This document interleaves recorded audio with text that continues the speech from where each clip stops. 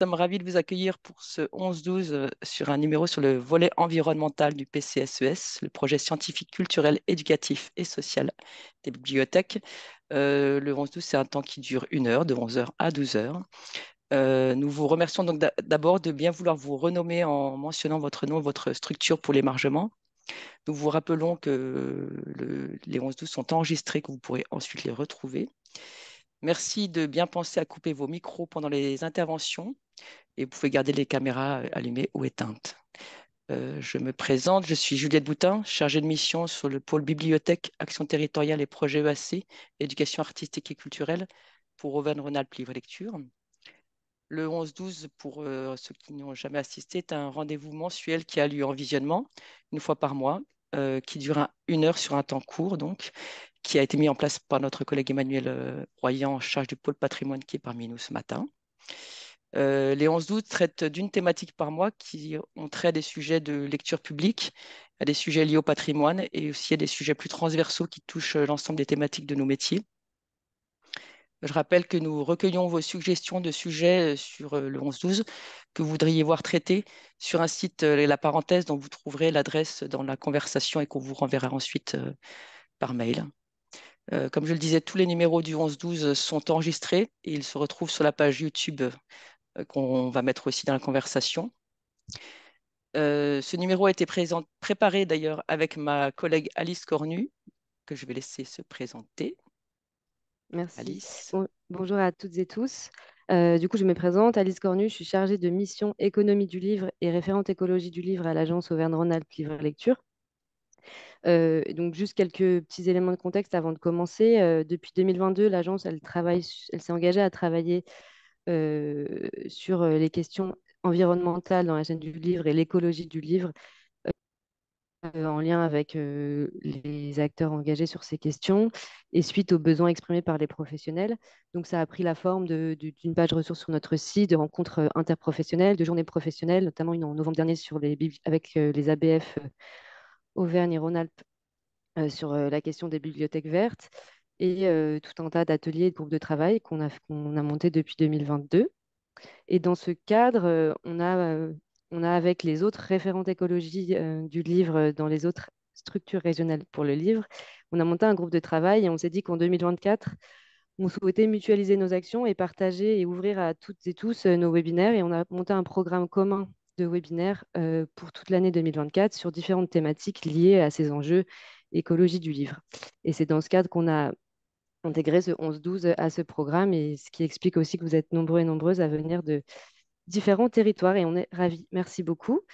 Je vais euh, introduire donc euh, nos deux invités que nous avons sélectionnés pour ce 11-12 sur le PCSES sur le volet environnemental. Euh, Elisabeth Tarquier-Chauvin, directrice de la médiathèque municipale du pôle culturel L'Étincelle à Venelle dans les Bouches-du-Rhône, et Pascal Kraviski, directeur adjoint en charge du territoire ouest et de la transition écologique à la BML, Bibliothèque municipale de Lyon. On commencera par Elisabeth qui fera un retour sur son expérience et son expertise. Et ensuite, Pascal prendra la suite. Pour les questions, euh, vous pouvez les poser à tout moment dans le chat et on les reprendra euh, à la fin de chaque intervention pour que nos intervenants et nos intervenantes vous répondent. Je vais laisser du coup la parole à Elisabeth qui va commencer et partager sa présentation qui sera disponible euh, à l'issue du 11-12, bien évidemment. Merci Elisabeth. Merci beaucoup. Euh, ben, merci pour cette invitation. Je, suis toujours ravie d'intervenir sur ces sujets qui sont à la fois euh, passionnants et très prégnants euh, dans, notre profession. Donc, je vais partager du coup mon écran.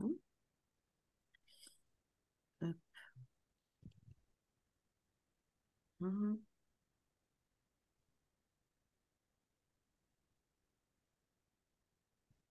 Et ça devrait normalement fonctionner. Est-ce que c'est bon? Ça fonctionne vous, très voyez bien. l'écran Oui, c'est bon? parfaitement. D'accord. Donc, euh, juste pour euh, recadrer, euh, enfin voilà, j'ai organisé mon intervention avec une petite introduction sur euh, ce qu'était un PCSES, déjà, voilà, petit rappel, hein. et, effectivement un retour d'expérience sur notre projet à Venelle, donc médiathèque dans un pôle culturel, donc pôle culturel de l'Étincelle qui a ouvert en mars 2023 Donc ça fait bientôt un an. Et voilà, donc petit retour d'expérience sur la manière dont on a monté ce projet autour, autour du développement durable. Donc le PCSES, e pour rappel, c'est un document cadre. C'est un document qui a été rendu obligatoire pour les dossiers de demande de subvention en investissement auprès des partenaires financiers et notamment de la direction régionale des affaires culturelles. Hein. donc un décret du 7 juillet 2010. Donc c'est un document qui va être nécessaire pour tout dépôt de demande de subvention. C'est aussi un document structurant dans la mesure où c'est une feuille de route en fait. Hein. ça va être euh, un plan qui va, euh, qui va courir sur un certain nombre d'années. Alors en général, on, on détermine cinq ans parce que c'est un peu la durée d'une mandature et qui va déterminer les grands axes de fonctionnement de l'équipement. Donc, il va être plus ou moins important, plus ou moins détaillé, euh, ça dépend de la taille du projet, de la nature, du territoire, euh, de la taille de la commune. Euh, du coup, là, ce qui me semble intéressant, effectivement, dans les deux interventions, c'est qu'on est sur deux territoires complètement différents. donc, je vous présenterai rapidement la commune de Venelle juste après. Et c'est aussi un document engageant parce que le projet culturel doit être validé par l'Assemblée délibérante, pour nous, le conseil municipal, hein, et qui va dans une certaine mesure, ou en tout cas on l'espère, engager la collectivité. Donc c'est un document en fait qui regroupe un certain nombre de chapitres euh, un petit peu euh, incontournables. Euh, on le construit un petit peu comme on veut, mais en tous les cas, il faut qu'on y retrouve un état des lieux, un diagnostic, à la fois du territoire et de l'équipement existant si c'est le cas. ou en tout cas de ce qui peut exister en termes d'équipement culturel sur, sur le territoire. On y retrouve également les objectifs généraux et politiques de l'équipement. Donc ça, ce sont les orientations et les axes de fonctionnement, ce que veut faire la commune, l'ancrage du projet euh, au sein du territoire. Ça, ce sont des objectifs politiques qui sont normalement, ou en tout cas idéalement, euh, déterminés avec les élus ou par les élus en fonction de la commande politique. Euh, ça peut être des propositions aussi. Et à partir de excusez-moi, à partir de ces objectifs généraux, euh, on va décliner des actions euh, en fonction de ces axes, des actions à mettre en œuvre pour atteindre ces objectifs. Donc voilà, on va, décliner au, fur et à mesure. Euh, une partie aussi sur les moyens qui vont être alloués à ce projet, donc des moyens en, espace, en mètres carrés, des moyens financiers et des moyens en personnel, qui sont un peu aussi quand même le nerf de la guerre, il faut bien le dire. Et enfin, un calendrier. Juste, vous pouvez avancer peut-être sur le PowerPoint? Oui, et un calendrier. Voilà. C'est bon là pour vous? Euh, On voit que la première slide pour l'instant, médiathèque ah. de l'étincelle. Ah, alors euh, j'ai avancé pourtant, donc c'est que ça ne fonctionne pas en. Alors, je vais le mettre comme ça. Est-ce que c'est mieux comme ça? Ouais. Oui, là ça marche. Vous voyez le pilotage là? Oui. Oui. Voilà, ok, d'accord. Donc désolé, euh, ça ne fonctionnait pas. Voilà, en diaporama. Donc, euh, et donc un calendrier, je vous disais, une chronologie hein, en fait pour la mise en œuvre du projet. Donc euh, rapidement, par rapport au pilotage d'un PCSES, e l'idéal c'est d'avoir un responsable de projet, c'est lui qui va assurer un petit peu la mise en forme, en cohérence du document final, euh, de travailler en équipe. c'est la meilleure manière de fédérer autour du projet, quand on peut, quand on a une équipe aussi. Parfois, c'est pas le cas. Euh, de suivre régulièrement le projet avec les élus, et ça rejoint un petit peu la, définition des objectifs politiques, mais c'est vraiment faire des points réguliers euh, et des points de validation d'étapes, euh, parce que c'est à partir de cette implication-là, en fait, qu'on va pouvoir à la fois définir les axes, mais aussi faire adhérer les élus au projet et éviter de travailler, de travailler sur des axes qui ne seraient pas ensuite retenus. Associer les financeurs dès le démarrage du projet, euh, ça peut être l'État, la région, le département, les métropoles. Et impliquer la population quand on le souhaite, quand on le peut, pour mobiliser euh, les forces vives, recueillir des idées et ajuster le projet. Nous, on a mené par exemple une démarche participative avec les usagers, mais ça peut être aussi des acteurs culturels, économiques sur le territoire, faire des biblioremix, plusieurs manières d'impliquer la population et les usagers. Mais euh, c'est voilà, c'est un, comment dire, un moyen aussi d'asseoir et, de, et de, de, permettre de, à la population de s'emparer en fait du projet et, euh, et de s'y impliquer. Donc le projet de Venelle, euh, pôle culturel l'étincelle, donc alors pour resituer très rapidement, Venelle, vous le voyez sur la carte, c'est une petite commune des Bouches-du-Rhône, donc une commune de 8500 habitants qui se situe juste à côté d'Aix-en-Provence, situer un petit peu sur la carte. c'est une commune de 2000 hectares, donc pas, pas, très étendue, hein, mais voilà, avec un équilibre paysager et une forte volonté de la collectivité de maîtriser en fait l'urbanisation euh, avec une particularité aussi qu'elle est traversée par euh, l'autoroute A51, donc autoroute des Alpes. Et donc, on a toute une partie à gauche de l'autoroute avec euh, une urbanisation, voilà, qu'on voit sur la photo aérienne, là, une urbanisation avec, avec le, le village et la zone d'activité dans laquelle se trouve le pôle culturel. Et de l'autre côté, à droite de l'autoroute, un, espace plutôt agricole euh, et avec notamment un parc des sports euh, qui fait 44 euh, hectares de boisés et 50 équipements sportifs sur ce, sur ce, sur ce territoire. Donc, en préambule, je voulais juste bah, resituer un petit peu le, pourquoi je suis là et d'où je parle. Euh, donc en 2015, euh, quand on a commencé à rédiger ce PCSES, e on était un des tout premiers en fait à intégrer le développement durable et l'écologie à notre projet d'établissement, euh, ce qui fait que ben, il a été après, on l'a mis en ligne sur la bibliothèque numérique de l'ENSIB et il a largement servi et, et aidé beaucoup de collègues et, et, ça, on en était vraiment ravis. Euh, aujourd'hui, euh, c'est un sujet qui, infuse beaucoup plus dans la profession. Donc, il y a énormément maintenant de projets euh, qui par, tout un tas de, prismes, en fait, hein, intègre le développement durable ou l'écologie ou l'éco-responsabilité ou la responsabilité sociétale, comme on veut, ou la transition écologique. Il y a beaucoup de, vocabulaire hein, autour, de, de cette thématique-là. Euh, mais en tout cas, il y a beaucoup de projets qui intègrent maintenant cette dimension.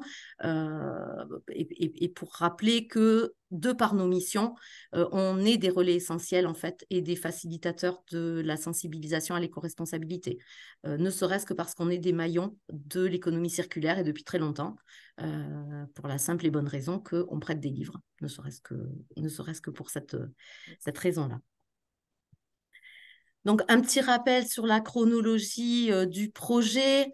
Donc, les, premières, euh, premières réflexions euh, ont eu lieu en 2011. L'idée, c'était de rassembler un petit peu les, équipements culturels qui étaient disséminés sur la collectivité et qui étaient sous-dimensionnés, de les rassembler dans un bâtiment structurant en 2014, donc après un petit peu de, réflexion, on a eu un premier projet avec un premier programme technique détaillé, mais qui était très peu satisfaisant puisque la médiathèque arrivait un petit peu comme un cheveu sur la soupe dans ce projet.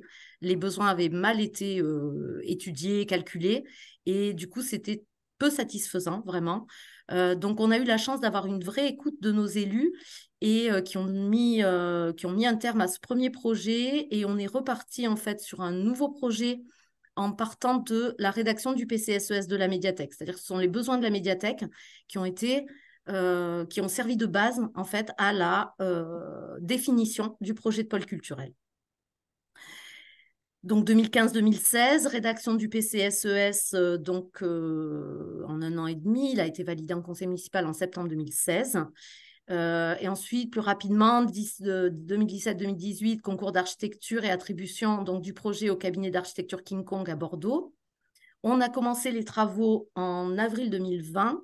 Donc, c'est une date qui devrait euh, parler à tout le monde puisque c'était le tout début du confinement.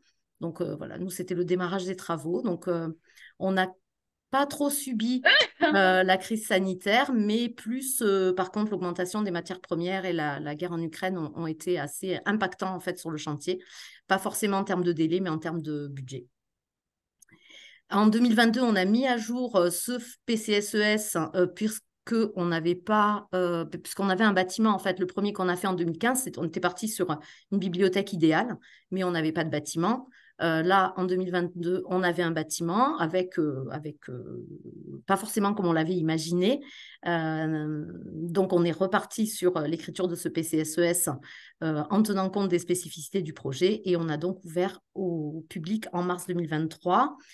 Donc, c'est un projet qui a subi de nombreuses transformations entre 2011 et 2023. Vous voyez que le délai, en fait, est, ne serait-ce qu'entre les deux PCSES, on a quand même sept ans. Euh, donc, ça a été une, grande gestation.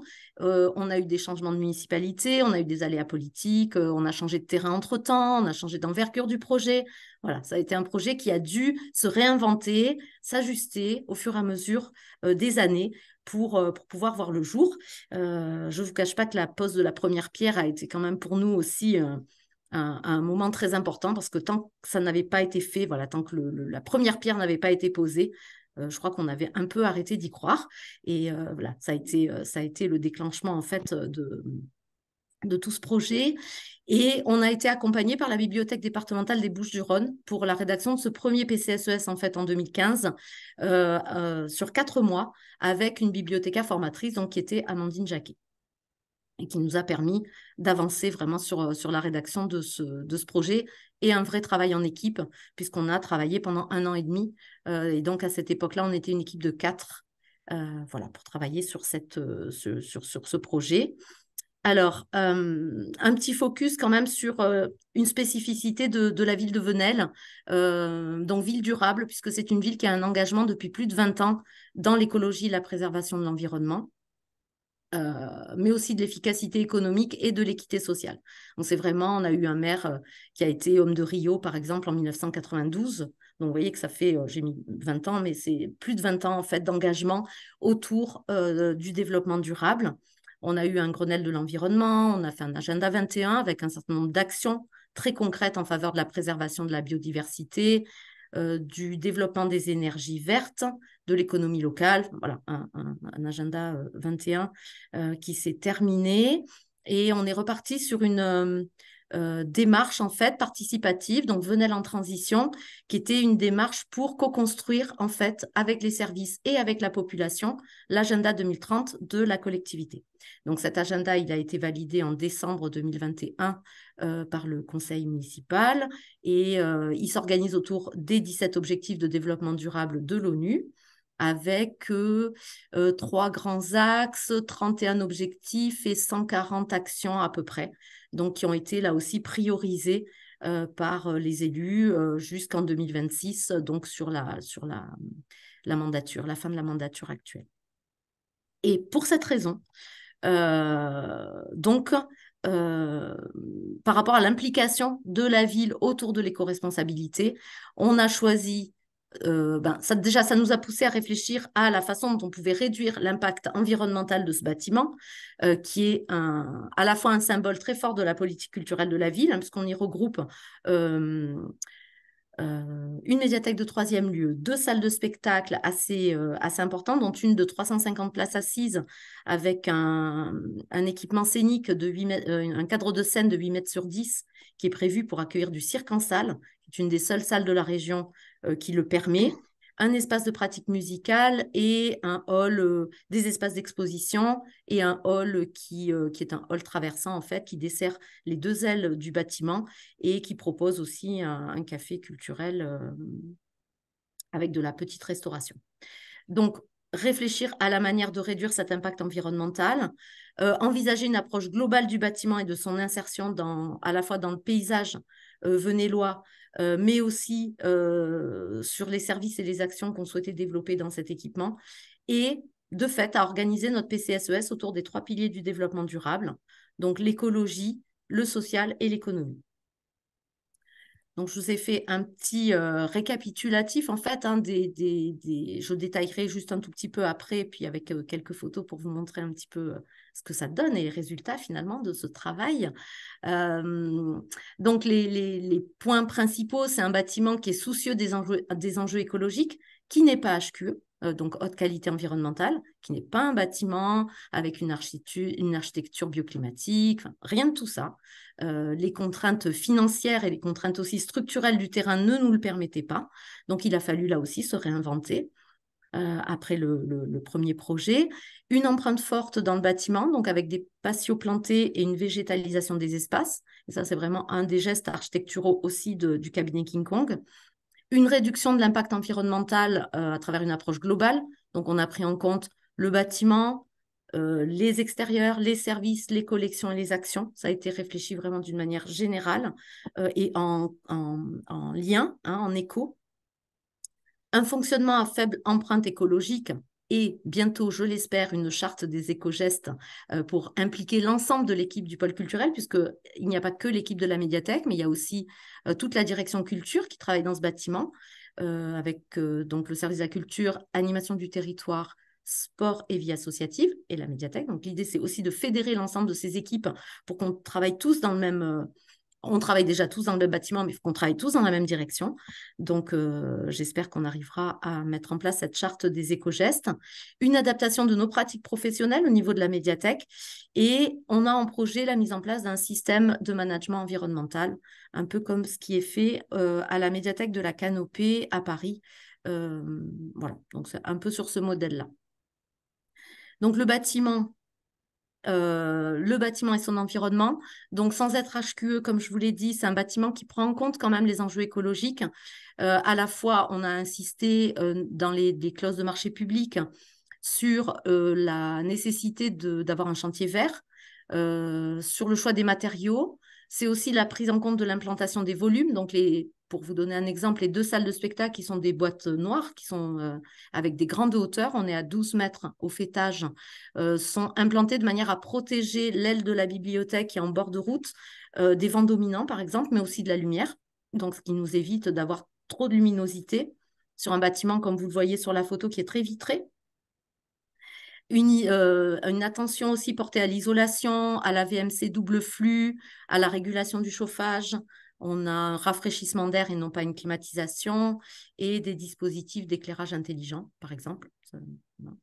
Une empreinte verte, verte aussi, je vous l'ai dit, avec les patios, mais aussi beaucoup de végétalisation. Nous, on a tenu vraiment à faire rentrer la nature à l'intérieur de la médiathèque. Donc, il y a beaucoup de plantes vertes euh, qui sont, euh, je, préviens les questions, qui sont entretenues et arrosées par l'équipe de la médiathèque de manière tout à fait volontaire. Euh, les aménagements extérieurs aussi, on a mis beaucoup de bornes de recharge. On a fait, on a porté attention aux mobilités douces avec une piste piétonne, une piste cyclable, de manière à pouvoir, je vous l'ai dit, on est implanté au début de la zone d'activité, donc un petit peu éloigné quand même du centre-village. Et l'idée, c'était de permettre à la fois aux piétons, aux personnes à mobilité réduite, mais aussi aux, familles avec des poussettes, avec des enfants en bas âge, de pouvoir venir facilement et de façon tout à fait sûre euh, au pôle culturel. La réduction du stationnement, ça, ça a été vraiment un choix pour limiter l'imperméabilisation des sols, donc de ne pas créer de parking. Euh, alors, un, petit parking, euh, il y a 80 places en fait qui ont été créées sur un sol en stabilisé, donc pas de béton, pas de goudron, pas d'imperméabilisation des sols, sachant qu'on est, alors c'est pas vraiment un terrain inondable, mais en tout cas on est sur un bassin de ruissellement, donc un bâtiment qui a dû être rehaussé pour, euh, pour euh, les inondations, et euh, des noues paysagères en fait qui ont été créées dans les jardins urbains.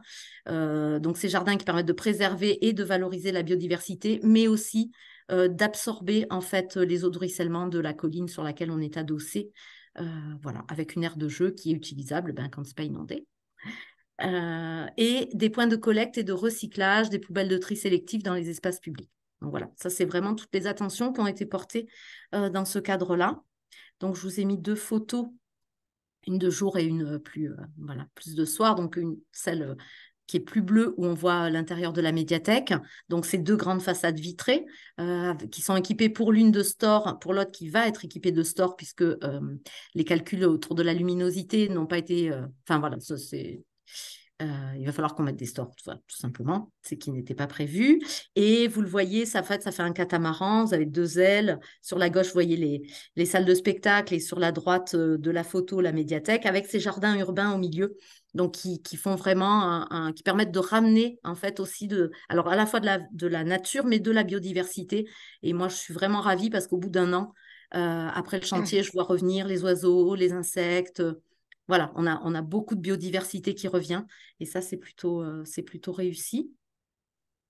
Après, dans le fonctionnement, donc un fonctionnement éco-responsable, donc on a, on a essayé d'organiser ça autour de trois axes. Donc euh, la transition écologique, euh, ben, on n'a pas un bâtiment HQE comme je vous l'ai dit. Donc l'idée c'était de, de, traduire la durabilité en fait dans le fonctionnement et les usages de l'équipement. Donc en affectant certains espaces à différentes utilisations en fonction des temporalités. On a par exemple un atelier qu'on peut utiliser en dehors des heures d'ouverture de la médiathèque pour des réunions, pour des groupes, pour des associations. Il est tout à fait utilisable gratuitement. Et l'idée, c'était aussi de mutualiser les services pour réaliser des économies d'échelle. Donc, je vous l'ai dit, regrouper différents espaces culturels sur la commune dans un seul bâtiment structurant. Donc, c'était faire des économies de fluide déjà et réunir aussi des services municipaux qui étaient disséminés dans plusieurs équipements, dans un seul. Donc, là aussi, des économies d'échelle. Dans les pratiques quotidiennes, c'est prévoir une politique d'achat de consommation éco-responsable, utiliser plutôt du durable que du jetable, porter une attention au circuit court dans, les produits alimentaires et notamment quand on fait des, des pots, quand on fait des repas, quand on fait des, des accueils de compagnie ou de, ou d'auteurs, par exemple. Euh, des labels écologiques aussi pour les produits d'entretien. Et là, un petit exemple aussi, on a fait le choix d'avoir euh, une machine en fait qui s'appelle Clinea et qui fabrique des produits d'entretien à base d'électrolyse. Ça, c'est pour la partie fonctionnement. Euh, une sensibilisation des équipes, et je vous l'ai dit, la rédaction prochaine d'une charte de fonctionnement éco-responsable et un travail autour de la sobriété numérique avec euh, notre direction de l'informatique. Et je ne l'ai pas précisé, mais on a la chance aussi d'avoir euh, sur la collectivité un service développement durable euh, qui est vraiment en accompagnement, d'abord qui a, qui a, mis en place l'agenda 2030, mais qui est aussi un accompagnement pour les services. Et depuis l'ouverture de la médiathèque, on accueille à la médiathèque toutes les animations à destination du public et des agents du service développement durable. Donc, j'y reviendrai juste après. Et par rapport à nos pratiques professionnelles, euh, on a fait le choix de ne pas avoir de RFID, par exemple. Euh, RFID de hum, d'antivol et de, voilà hein, de, de, puces en fait hein, de, de puces antivol euh, notamment par rapport aux ondes haute fréquence mais aussi par rapport à des économies financières. De favoriser autant qu'on le peut les éditeurs éco-responsables et l'éco-conception des ouvrages parce qu'on essaye on en tout cas on, si on n'y arrive pas, on essaye d'avoir le maximum de visibilité en fait sur la, euh, l'édition des documents et notamment les impressions sur les labels sur le papier, sur les labels sur les encres aussi, de savoir où euh, les livres sont imprimés. La réduction de l'équipement des documents avec une charte d'équipement euh, qui prévoit, alors nous on, ne couvre quasiment plus de documents, euh, à part un petit peu en jeunesse euh, et, certains documents qui sont un petit peu fragiles ou dont les couvertures sont un petit peu claires. Et là, on s'est appuyé aussi sur une étude, euh, enfin une expérimentation qui avait été menée par la médiathèque de la canopée sur 18 mois. Donc, vous pouvez retrouver leurs résultats. Je vous mettrai le lien éventuellement dans le, dans le document. Et une politique de désherbage durable où on porte une attention à la seconde vie des documents. Quelques services basés sur l'échange et le partage qui sont prévus donc dans ce volet vert aussi de, notre PCSES. E donc autour du troc, des espaces de braderie euh, et de troc, alors permanents ou événementiels. Ça peut être euh, des décorations de Noël au moment de Noël. Ça peut être euh, voilà, l'idée c'est de mettre en place un espace de troc pour permettre aux usagers d'être plutôt sur justement cette seconde main ou cette économie circulaire. Grénothèque, bouturothèque et peut-être bientôt une créathèque aussi, un espace de d'échange oui. Excusez-moi, je vous coupe un peu parce qu'il y a déjà beaucoup de questions et j'ai peur qu'on n'arrive pas à la, D'accord, alors je vais très vite. Pascal doit aussi euh, intervenir. Ok, alors je, vais très vite. J'ai plus que deux petites slides euh, sur lesquelles je vais aller rapidement. Donc, ça, vous le verrez, les services basés sur l'échange et le partage. Quelques actions vertes. Euh, je vous en dis juste deux ou trois auxquelles je tiens. C'est l'introduction de mobilier de seconde main chiné recyclé dans le mobilier de la médiathèque. des jeux de société autour du développement durable, et l'accueil, je vous l'ai dit, des actions de sensibilisation, notamment la fresque du climat et l'atelier d'automne pour l'ensemble de la population de manière tout à fait gratuite une fois par mois. On a mis en place, et ce sera, voilà, tant que ça arrive, une tisanerie participative, un espace de troc bag, un puzzle participatif et une grande végétalisation des espaces. Un petit panorama de, nos espaces, juste en photo. Voilà.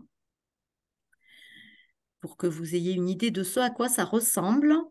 Et euh, quelques ressources autour notamment le PCSES de la médiathèque dont je vous ai mis le lien, euh, une formation bibliothèque verte, actrice du développement durable qu'on anime euh, auprès des CNFPT, mais aussi de l'ENSIB et de l'INET, et un parcours DDRS qui est disponible en focus sur la, en formation en ligne à l'ENSIB, voilà, où il y a cinq focus qui sont axés sur euh, la transition écologique et les bibliothèques.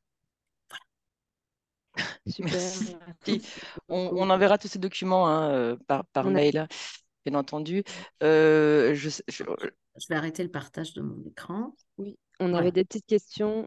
Il y avait trois questions. Peut-être pour vous, du coup, Elisabeth. Oui. C'était qu'est-ce qu'on. Oui, dis-moi, vas-y. Non, non, non, peut-être rapidement, Qu'est-ce on les qu'un garde. dispositif d'éclairage intelligent pour Ah, oui, alors ça, je peux répondre très rapidement. En fait, c'est de la domotique, hein, c'est de la gestion, euh, euh, je ne sais plus comment on appelle ça, gestion technique de bâtiment, GTB, je pense. Euh, en fait, on a un éclairage qui fonctionne par tablette avec un réseau Wi-Fi. et on peut allumer tout ou partie des rampes de l'espace public. On peut varier l'éclairage. Et on a aussi des détecteurs de mouvement dans les espaces de circulation. Voilà, c'est euh, des, éclairages qui se font avec euh, l'éclairage urbain à la tombée de, du jour. Euh, voilà. C'est ce qu'on appelle, nous, l'éclairage intelligent. Très bien. Ben, merci beaucoup. On va passer à l'intervention de Pascal et comme ça, après, on, on reprendra toutes les autres questions pour soit Pascal, soit Elisabeth en fonction. Merci beaucoup. Pascal, je vous laisse la, parole, vous présenter et, partager votre écran. Merci de votre invitation. Euh, donc, passer après Venelle, c'est chaud quand même, parce qu'on a tous envie d'y aller. Euh, je dis ça euh, sans aucune ironie, hein, c'est vraiment super. bravo. Donc, moi, je vais vous parler de ce qu'on fait à Lyon, en fait. donc, déjà, pour commencer. Alors, je vais, je vais tenter le partage d'écran. Le, le plein écran, le, diaporama là, qui n'a pas marché marche. On, on le reteste. Diaporama, tchac. Est-ce que là, je suis en mode diapo Oui. Ouais. oui. Ok. Euh, donc à Lyon, euh, on réclame de l'argent à plein de gens, mais on n'a pas de PCCES pour autant. Euh, on a un projet d'établissement, donc je vais vous montrer un peu une autre façon de faire finalement pour bah, insuffler de la gouvernance pour ces questions de développement durable dans, dans, une bibliothèque. Et je vais mettre mon chrono pour pas. Allons-y. Donc voilà, comment on pourrait faire quelque chose comme du PCS, peut-être sans le dire, euh, et qu'est-ce qu'on a fait à la, bibliothèque de, Lyon? Donc ça a commencé en 2021. Lyon est, devenu est passé sous une mandature écologique aux dernières élections municipales en 2020. Et puis bah, c'est vrai que depuis des, choses se sont faites. Donc depuis 2021, il y a un processus en cours pour verdir la bibliothèque de Lyon. Euh, qui a commencé donc en 2021 par l'écriture d'un projet d'établissement.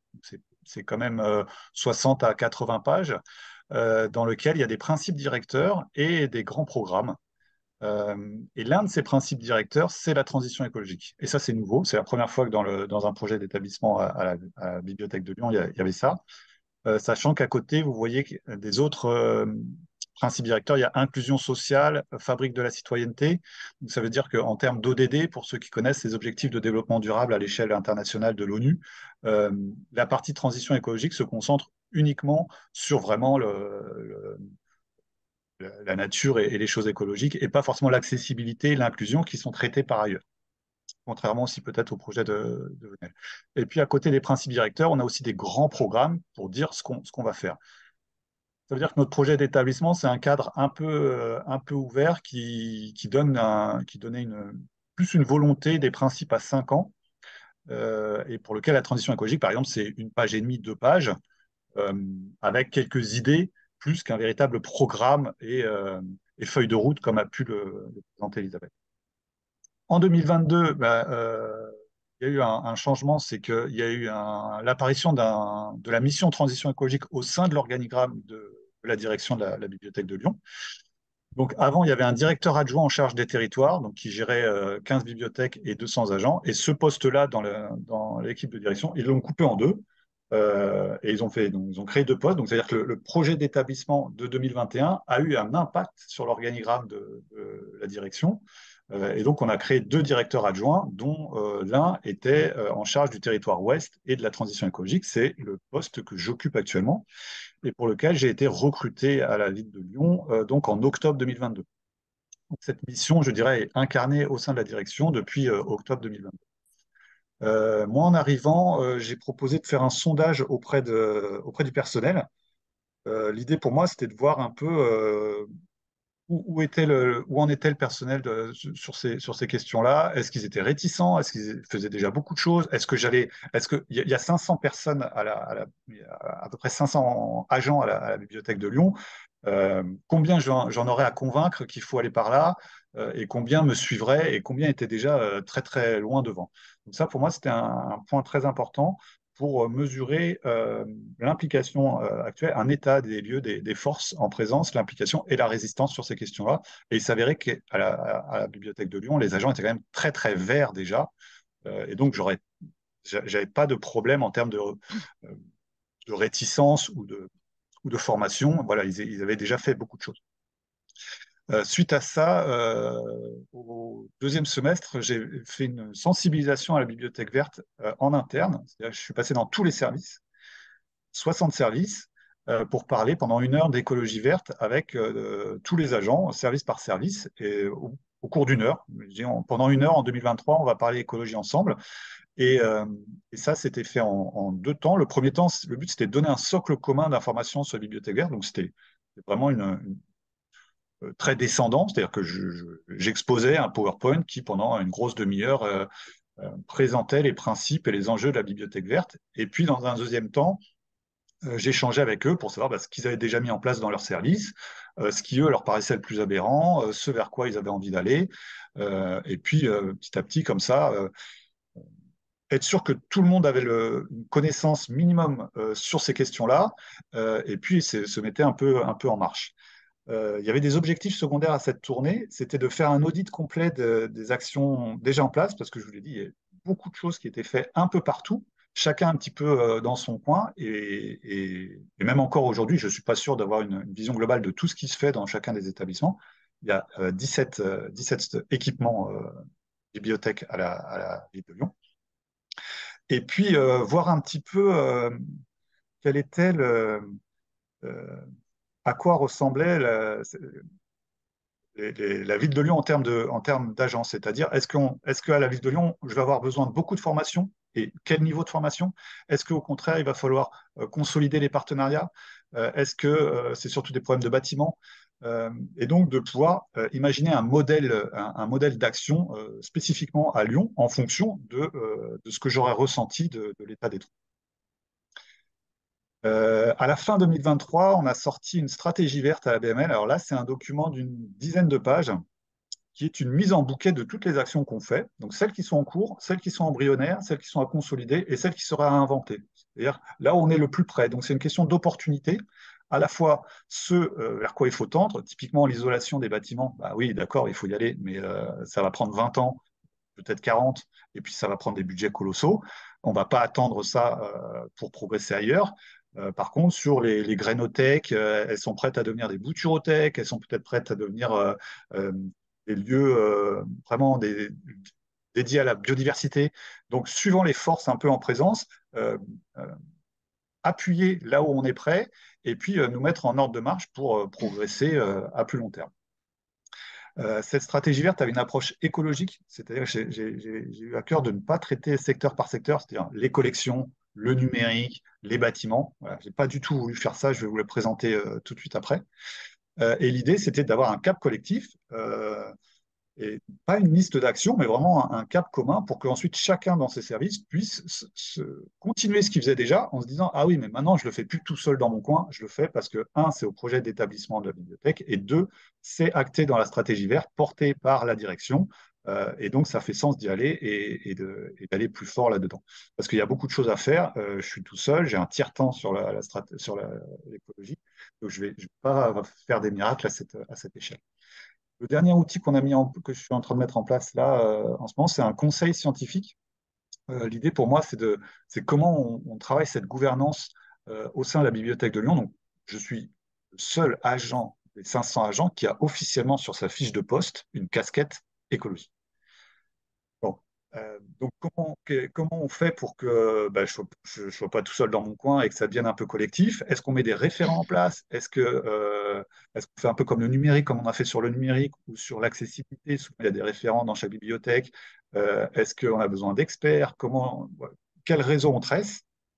Et, et, et, à la bibliothèque de Lyon, par exemple, j'ai plutôt vu que cette question était tellement euh, prise en charge déjà par la très grosse majorité des agents que ce n'était pas forcément utile d'avoir un réseau de référents qui porterait, euh, qui porterait le discours. Donc on a plutôt imaginé un conseil scientifique, donc c'est un think tank, c'est un, un, lieu de gouvernance qui pourra euh, bah, m'aider en gros à, prioriser, à hiérarchiser et, à rebondir un petit peu sur les, stratégies. Et, j'ai souhaité faire un, système de gouvernance avec à la fois une équipe en interne, donc une petite, petite équipe interne, mais aussi des, intervenants extérieurs donc des collègues des BU, euh, des collègues des grosses associations vertes du territoire, pour que, en gros, euh, y ait euh, ce que fait la bibliothèque puisse se nourrir un peu de, ce, que, de ce qui est fait ailleurs, et puisse aussi bah, infuser vers, vers d'autres collègues pour être dans, un, dans, une démarche un peu collective au sein d'un territoire. L'idée étant de se réunir deux, trois fois à l'année, on verra comment ça, marche pour qu'on sache s'il faut commencer par mettre des poubelles de tri, ou bien par euh, mettre de l'isolation, ou bien par euh, faire un temps fort écologie. Voilà, par quoi on commence, euh, sachant que, ben, comme partout, les ressources humaines et, financières ne sont pas, sont pas voilà. Donc aujourd'hui, le projet d'établissement de, la, bibliothèque, je vous ai dit, c'était deux pages. Sur la transition écologique, c'était deux pages. et donc, on, c'était un cadre assez global. Et aujourd'hui, pour moi, il a été dépassé par cette stratégie verte de la, bibliothèque, qui est, plus 10 pages euh, de euh, ce qu'on va faire dans les 5 ans à venir. Et ça, ça a été organisé autour de six, thèmes, donc les économies d'énergie, le mode de vie bas carbone, les gestions des ressources, la biodiversité, et puis deux thèmes transverses, la transformation des publics, l'accompagnement des bibliothécaires. Je ne vais pas vous présenter cette, stratégie-là, maintenant on n'a pas le temps, mais euh, donc ça c'est la mise en bouquet de tout ce qu'on fait déjà et tout ce qu'on va faire plus fort euh, dans les années à venir.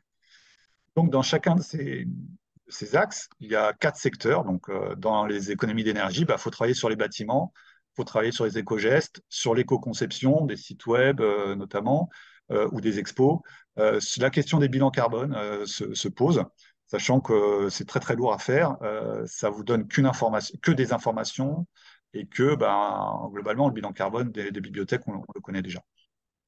Donc, des secteurs qui ont été identifiés dans chacun de ces axes, et puis sur chaque secteur, vraiment des, idées. Donc, qu'est-ce qu'on va faire sur le plan chaleur qu'est-ce qu'on va faire pour lutter contre le réchauffement climatique, sachant que nos bâtiments sont anciens euh, et on peut difficilement les, toucher. Euh, qu'est-ce qu'on fait pour faire en sorte que, euh, bah, en été, on puisse ouvrir les après-midi dans les bibliothèques du territoire lyonnais, ce qu'on ne peut pas faire aujourd'hui parce qu'il n'y a pas de clim.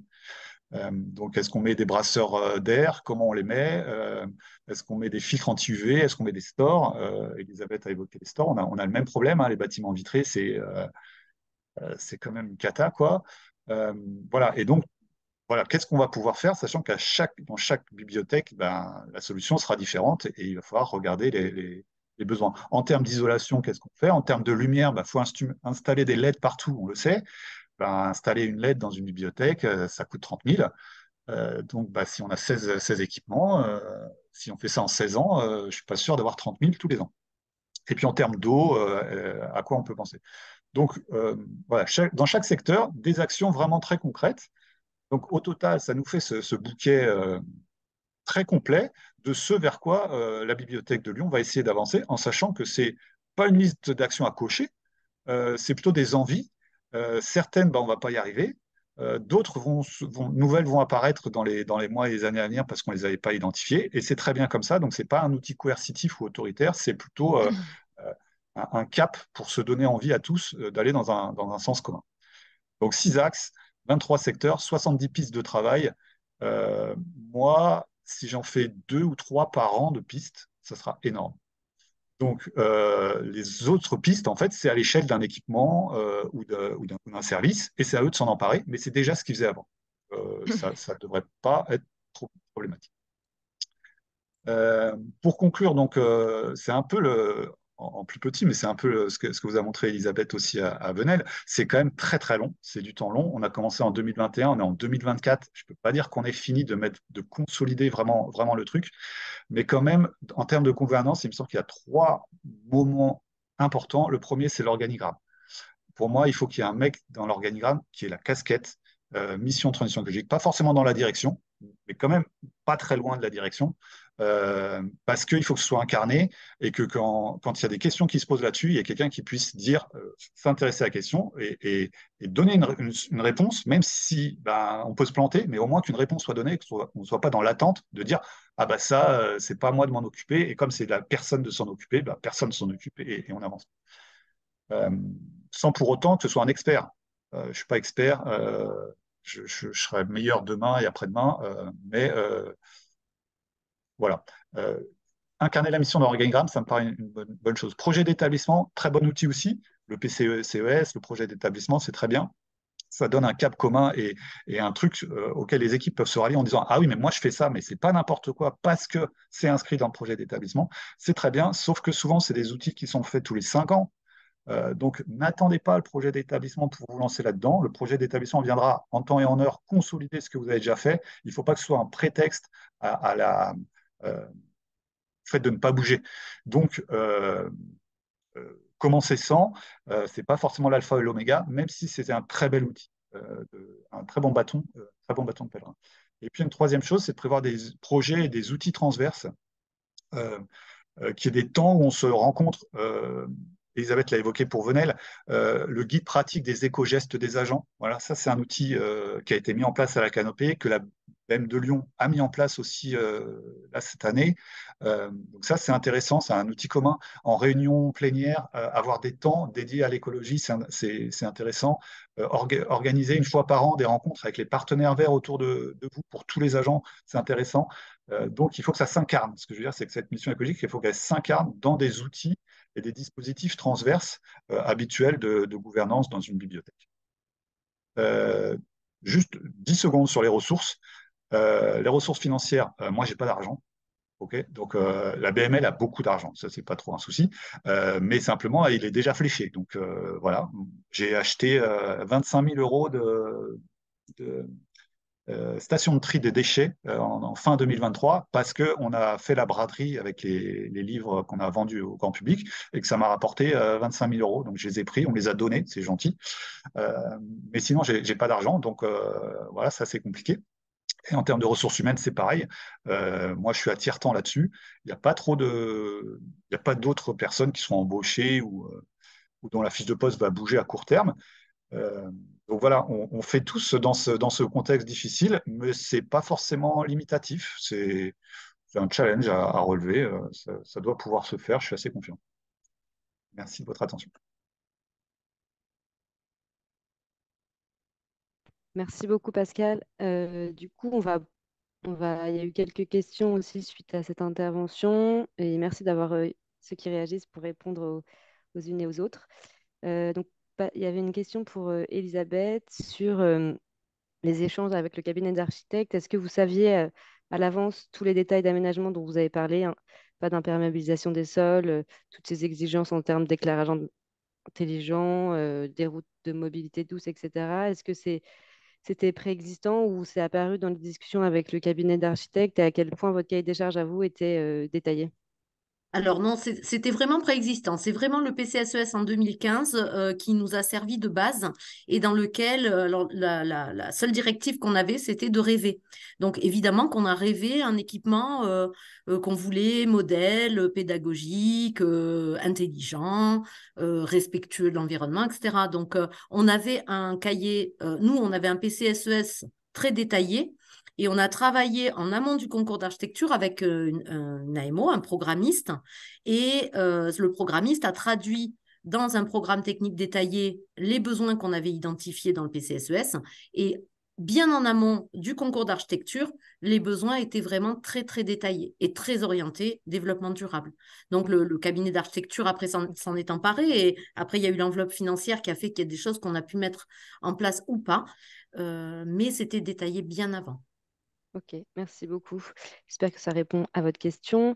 il y avait une question suivante toujours pour vous. Concrètement, qu'avez-vous mis en place pour la sobriété numérique?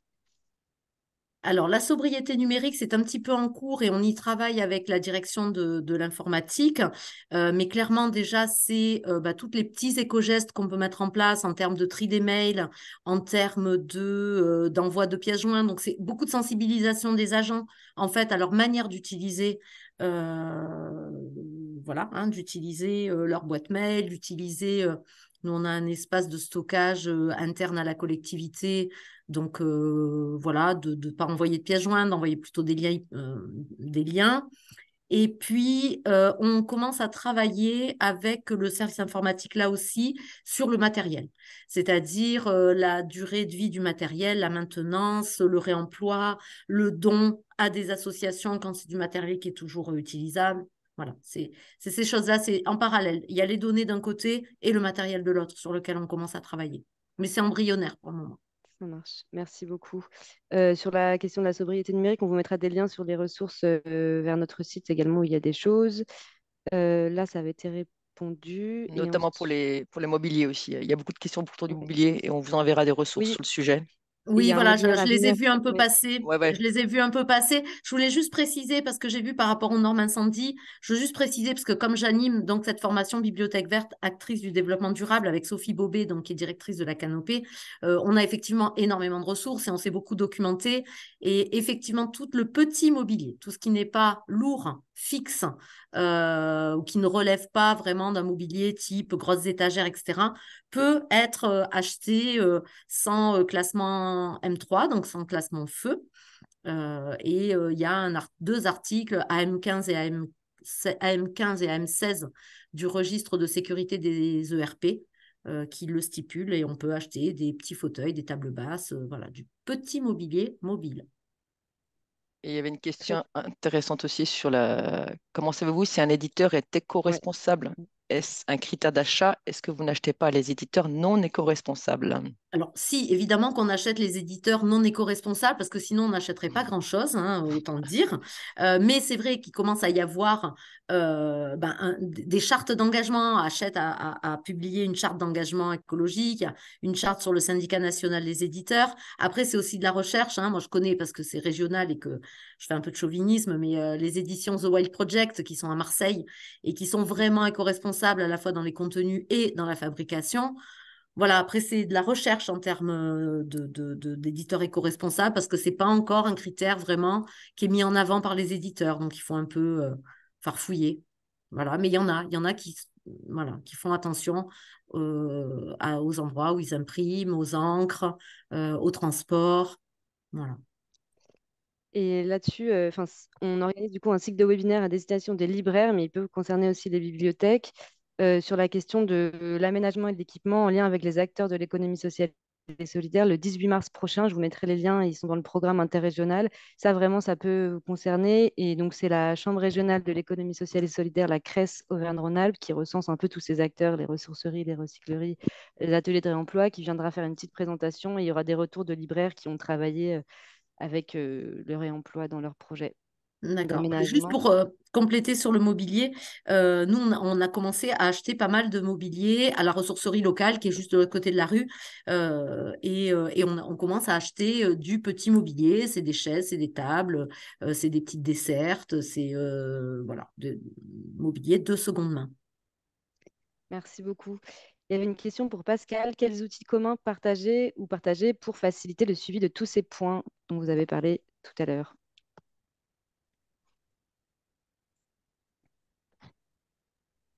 Bonne question. Euh, c'est la question peut-être plus large des indicateurs. Euh, aujourd'hui, on n'en a pas. On n'a pas creusé dans, cette chose-là. On disait qu'on n'est on est, peut-être pas mûr. Peut-être que la euh, mise à jour, les, futures stratégies vertes en, donneront. je peux essayer de répondre. les outils qui existent, ça serait le bilan carbone. voilà, qui est, qui est un, outil très, très lourd à, faire et qui, demande effectivement de travailler en collectif et qui permettrait de suivre les améliorations selon les, différentes démarches. Euh, nous, on ne pas encore lancé là-dedans, c'est pas mûr, euh, ça me paraît pas prioritaire. Euh, le deuxième outil qu'on a, ça serait le, le guide pratique de la bibliothèque verte, donc le guide vers les agents, qui vraiment liste des actions très concrètes à mener et où on pourrait aller plus loin. typiquement sur la couverture des livres, on a dit voilà, on va améliorer la couverture des livres. Donc, le fait de mettre à jour ce guide de la, c'est un guide pratique qui a été fait en collectif. Hein. Il a été fait par 50, 50 agents qui ont travaillé pendant euh, plus de presque deux ans euh, en intelligence collective pour, euh, pour créer ce, cette envie commune. et ça, je, pense que si ça, on l'utilise pour, pour le mettre à jour et on, bah, on, communique, il y a une lettre interne qui permet de communiquer. Moi, dans j'ai une lettre interne qui me permet chaque semaine de faire une petite brève verte soit avec des informations nationales, mais plutôt des informations locales et des informations sur le monde de la culture. Euh, donc euh, ça, ça peut être aussi un outil où moi je dis, bah voilà, euh, ce trimestre, on a fait ça, ça, ça, et on va aller par là. voilà trois outils, disons, bilan carbone, guide pratique verte, lettre interne, qui permet quand même de faire du, collectif et de, mettre à jour des informations euh, en, attendant d'avoir des indicateurs euh, un peu chiffrés, un peu intelligents, mais aujourd'hui, je ne les connais pas. Merci. Euh, il nous reste quelques minutes à peine. Est-ce qu'on voulait une, une, dernière question? Si vous voulez, quelqu'un veut prendre la parole. On vous enverra donc tous les documents par mail je rappelle. Je, oui. Je mettrai juste mon mail du coup aussi euh, dans le document, comme ça s'il y a des personnes qui ont des questions après, qui veulent euh, bah, revenir vers moi pour euh, des précisions. C'est court, 20 minutes, donc voilà, je, vois un peu les questions qui étaient posées. Et donc voilà, il ne faut pas hésiter à m'envoyer un mail. Pas forcément toujours très réactif en termes de réponse, mais je finis toujours par répondre. Bah, d'abord, je voulais vous remercier Pascal et Elisabeth parce que c'est très intéressant tout ce qui a été dit et on sent qu'il y a encore du travail, mais c'est tant mieux. C'est voilà, on le fait tous ensemble. Euh, rappelez donc euh, d'abord que vous pouvez retrouver ce numéro et sur le YouTube du 11-12, euh, que vous pouvez donc, je vous l'ai déjà dit, mettre vos sujets, les sujets que vous souhaiteriez voir traités sur la page de la parenthèse que je vous remettrai aussi dans le mail. Le prochain 11-12, ce sera le 21 mars, animé par Emmanuel Royan sur l'apport des services départementaux d'incendie et de secours, le SDIS, dans l'écriture des plans de sauvegarde des biens culturels, le, PCB, le PSBC. Voilà. Euh, je vais laisser la parole à, Alice. Oui, j'avais juste, j'ai mis dans le chat le programme interrégional du premier, du premier trimestre dans lequel vous retrouverez tous les webinaires communs écologie du livre. Donc, il y en a plein qui sont interprofessionnels, d'autres plus librairie, mais ouverts, je pense également sur plein de sujets qui, peuvent vous intéresser. Ensuite, le, donc notamment le 18 mars, donc celui sur l'équipement avec les acteurs de l'économie sociale et solidaire. Et le 21 mars, Mobilis et Normandie Livre et Lecture organise un webinaire sur les lieux du livre et un peu ces lieux de vie, lieux hybrides entre euh, librairie, bibliothèque, qui sera donc qui est co-organisé de 10h à midi le 21 mars. Donc tout est sur le programme. Et on vous mettra, je vous mets également la chaîne YouTube du Bureau des acclimatations qui a fait pas mal de, vidéos et de visioconférences enregistrées sur les sujets bibliothèque verte. Voilà, et, aussi la restitution de notre journée bibliothèque verte avec les ABF Rhône-Alpes et Auvergne. On a fait un petit compte rendu de la journée sur lequel on, voilà, on, a beaucoup parlé, notamment du réaménagement de la, médiathèque de Saint-Chamond, dont quelqu'un parlait dans le chat, euh, comment euh, ils ont fait, enfin, il y, avait beaucoup d'exemples très variés sur euh, plusieurs sujets, donc le désherbage, l'aménagement, les réaménagements, enfin, plein, plein, de choses différentes. Donc, je, vous renverse ça, aussi dans, le mail. Il est 11h59, c'est magnifique. Ouais, on a tenu le timing. Merci Elisabeth et Pascal de vos interventions. Merci, Merci à vous. Et de votre clarté. Oui, merci, beaucoup, et merci à toutes celles et ceux qui ont participé. Vous étiez nombreux et ça fait plaisir. Merci. À bientôt. À bientôt. Merci beaucoup. Je vous envoie le document. Oui, ça marche. je vous fais un mail, je vous envoie le document. Merci. Et, et à bientôt. À bientôt.